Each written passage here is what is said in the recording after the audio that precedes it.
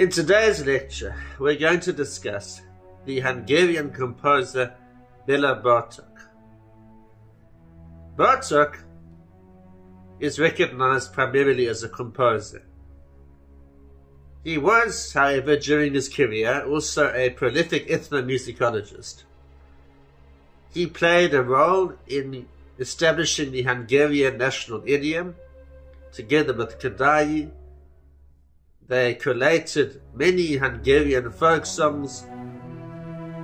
We have to remember that at this point in history, composers were growing weary of the romantic idiom.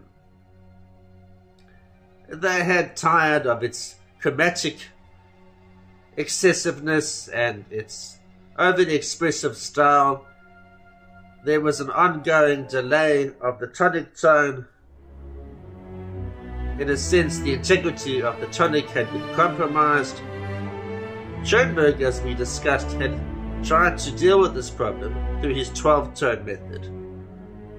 Bartok was amongst a different school of composers who felt that the folk music of the peasants opened up a new avenue of exploration. It was a fresh source of thematic material. Bartok used to go around the countryside collecting the folk tunes of the peasants. He would transcribe their melodies.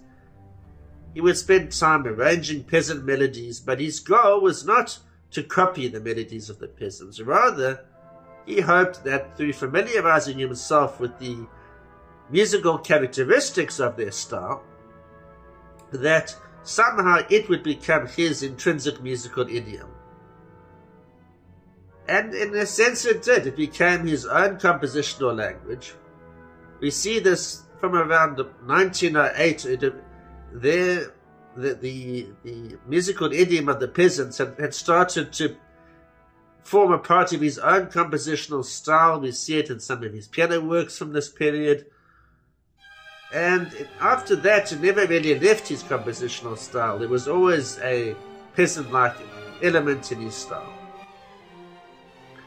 In today's lecture, we're going to consider one of Bartok's later works, commissioned in 1943 by Koussevitzky, the director of the Boston Philharmonic Orchestra. It was later named Bartok's Concerto for Orchestra. The name is somewhat ironic. It implies that each of the, the groups of instruments has a concerto-like function. It has a virtuosic, soloistic function to play in the work, each group of instruments is important, so Bartok was actually writing a concerto for the whole orchestra, showcasing the individual abilities of each of the groups of instruments. We're going to look in particular at the second movement of this work, known as, well, at least translated as Game of Pairs. There are different pairs of instruments, woodwind, brass, etc., that play thematic fragments so first, perhaps one of the, the groups of instruments in pairs will play a certain part of, there were five consecutive themes, one after the other, and each group of pairs played a different thematic segment, as it were. Each pair of instruments played together, moving in the same direction, separated by a certain interval. So Bartok had all sorts of allusions and references and devices throughout the work, some have accused him of selling out to American preferences in this work. We see it in the, the final movement uh, with his use of the drone element. Uh, and in some respects, he returned to a slightly more tonal idiom. Unlike Schoenberg, Bartok never succumbed to atonality in the true sense. There were elements of atonality, but he felt that atonality was irreconcilable with the peasant style of music. He was influenced, of course, by composers of the time such as Debussy and Stravinsky and Schoenberg. He took a keen interest in other influences too, Asian and, and so forth. But ultimately, he managed to reconcile the peasant folk idiom together with classical idioms. So, on the, on the one hand, his music is imbued with classical form. We see elements of fugue and sonata form. And of course, there are the peasant elements, most notably in the melodic outline of the works, And somehow he brings the two together, which was his contribution to music.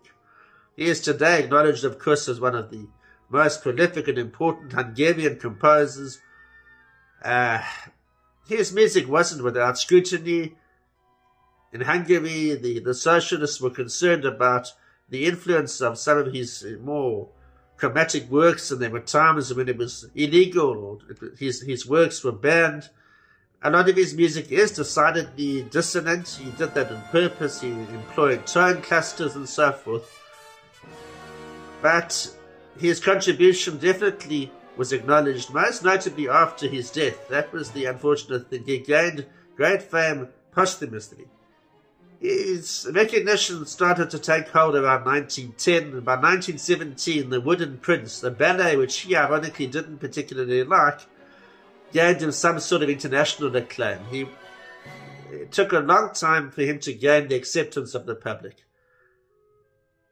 So we are going to examine one movement from his Concerto for Orchestra, the second movement, Game of Pairs. The second movement from Bartok's Concerto for Orchestra, known colloquially as Game of Pairs, uh, it's an allegretto scherzando, is scored for various pairs of instruments. It is scored for two flutes, two oboes, two clarinets, three bassoons, four French horns, two trumpets, two trombones, tuba, timpani, side drum, two harps, first violins, viola, cello, and double basses. The side drum also plays a significant role throughout the work. It is essentially in an ABA form. So we mentioned the the pairing of various instruments together and how they unfold a certain um, thematic fragment. The, the B section is more hymn-like. It is played by more subdued brass instruments. And the, the A return section is, of course, slightly modified with more significant orchestration. We are going to examine this movement now and identify its various elements.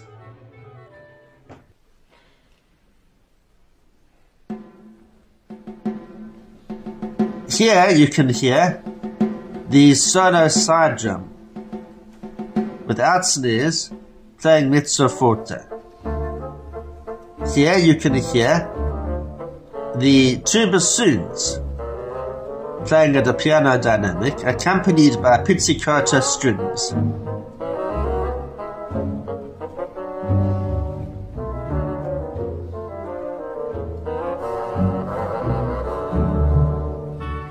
Here you can hear two oboes playing at a piano dynamic in the higher register. The pizzicato strings accompany.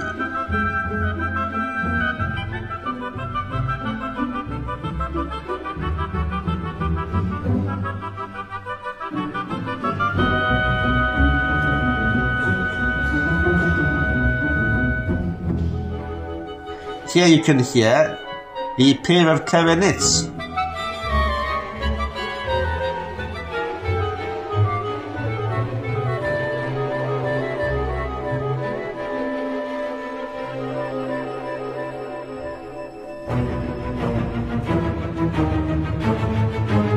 Here you can hear the pair of flutes playing at a mezzo forte dynamic in the higher register.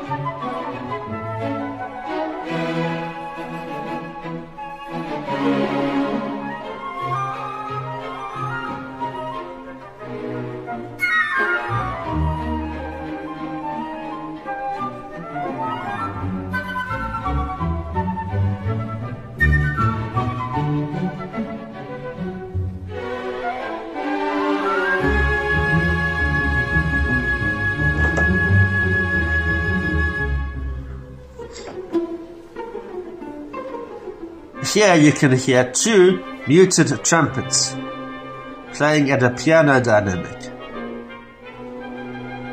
The muted strings play tremolos pianissimo in the background.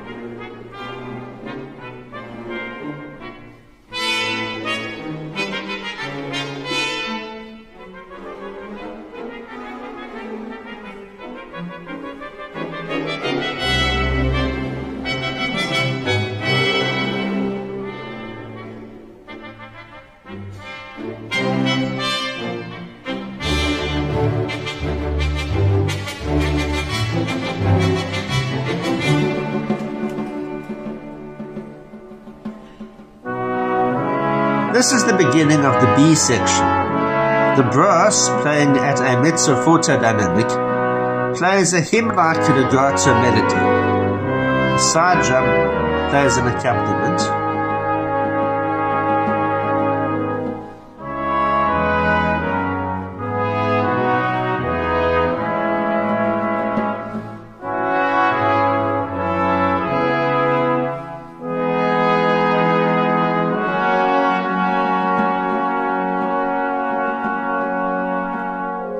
One can hear the French horns playing at a piano dynamic.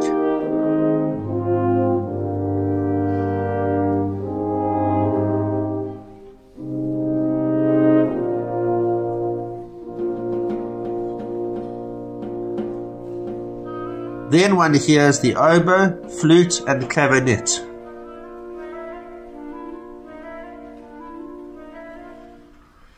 This is the return of the A section. It starts out with two bassoons playing at a piano dynamic. They play the opening melody.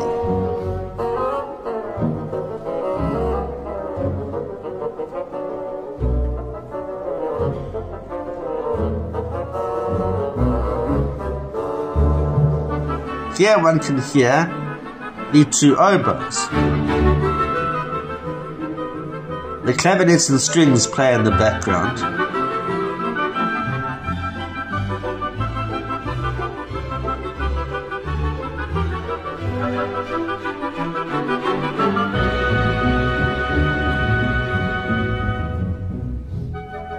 Here one can hear the pair of clarinets.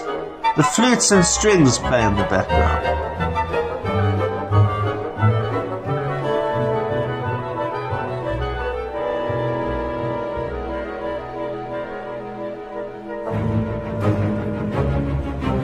Here one can hear the pair of flutes playing at a mezzo forte dynamic in the higher register.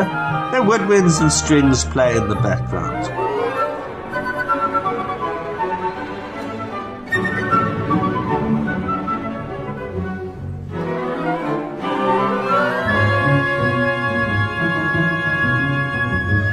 Here one can hear the pair of muted trumpets playing at a mezzo forte dynamic, with a harp glissandos, and the muted strings play tremolos in the background.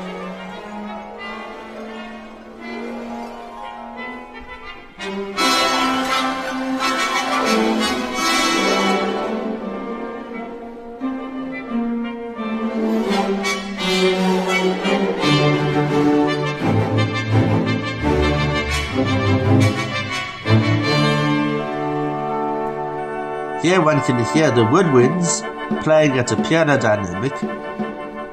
They repeat a chord. There is a solo side drum in the background. Finally, towards the end, there is a decrescendo which brings about the end of the movement.